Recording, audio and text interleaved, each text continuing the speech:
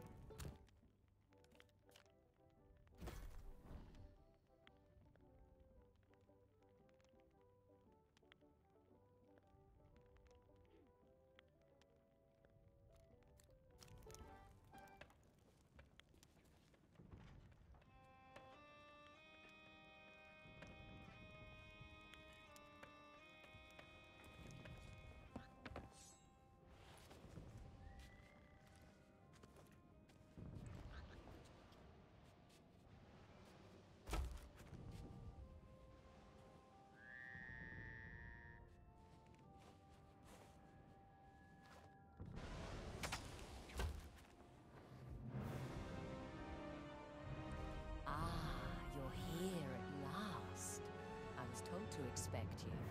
It's not every day I received a message from the Pirate Lord himself. Years ago, I used the Shroudbreaker and was the first to reach the Devil's Roar and founded this outpost. I gained a reputation for succeeding at the impossible, but not even I dared to try for the shores of gold. I must say, I'm impressed. Here's the Shroudbreaker, fully restored. Once it's aboard your ship, it should protect her long enough to reach your destination. Wander off course and, well, you might not live to regret it. There's a book for you too, signed by the Pirate Lord. Whatever it may say, I'd advise you to read it carefully. When the greatest pirate who ever lived takes the trouble to write to you, it's got to be something worth taking to heart. As for me, all I can do is wish you luck. You're obviously brave and certainly talented, but nothing you've faced so far compares to the dangers ahead. There may not be any people living there, but that doesn't mean the shores of gold are deserted.